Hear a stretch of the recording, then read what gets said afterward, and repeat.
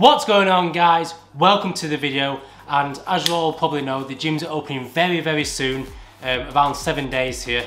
So what I'm going to do, I'm going to give you the 8 most annoying people you have to look forward to meeting when you get back to the gyms, so stay tuned.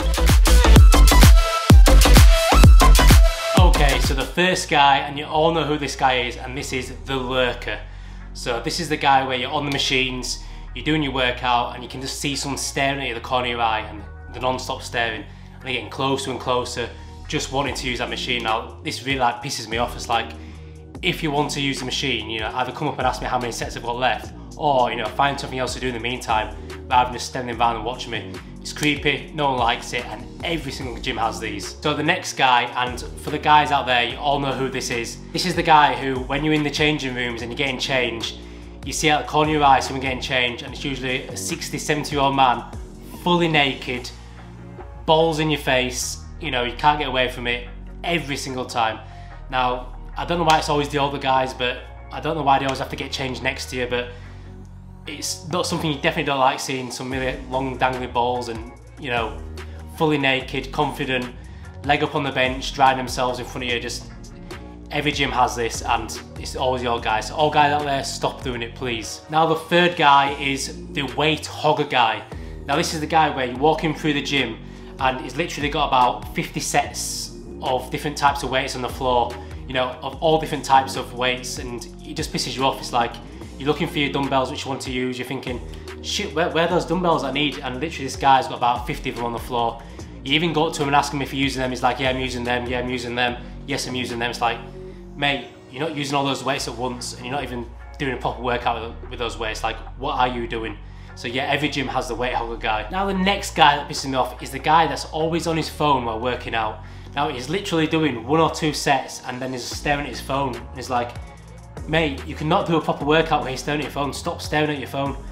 You know, he's doing curls with his phone. He's doing one or two reps, then he's on his phone. And coincidentally, this is the guy that's always taken the longest machines. He's in the machine for about 15, 20 minutes. Only done like one or two sets of like three or four reps and then he moves it's like, pisses me off, it's time wasting and yeah, every gym has one of those phone guys. This is another guy that I don't know if you've seen this, but I've definitely seen it a lot when I used to go to gym, and this is the father and son combo. Now, I have nothing wrong with father and son going to work out, absolutely fine. You know, but what I'm seeing with this is, you've got a father who doesn't know what he's doing, you know, trying to teach his son who doesn't know what he's doing.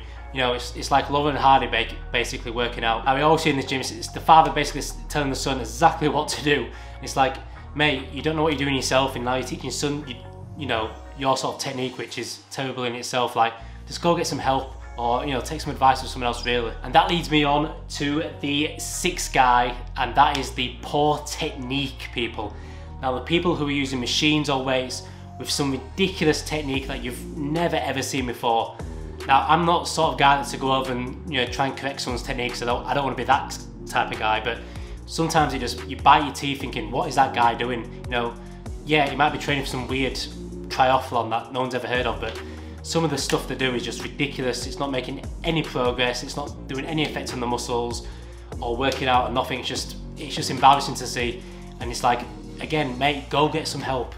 Ask someone. Just stop doing what you're doing, basically. The seventh person. Now this is one of the most annoying. Like I love it when couples work out. You know, couples working out should be empower, you know, empowering, inspiring. You know, I think all couples should work out together. It's a fantastic thing to do. But please stop the public displays of affection when you're in the gym. Like, I do not want to see you holding hands walking the gym. I do not want to see you sitting on the bench kissing each other while at the gym. It's just, it's not the place to do it. Like, work out by all means together. You know, inspire each other. But please keep the public displays of affection out of here. That leads me on to the last guy and everyone knows this guy, right? So I don't know if you can see this. So basically this is the guy that's doing his workout as you normally would do. He'll stop doing his workout and then he basically does this for about 20 minutes.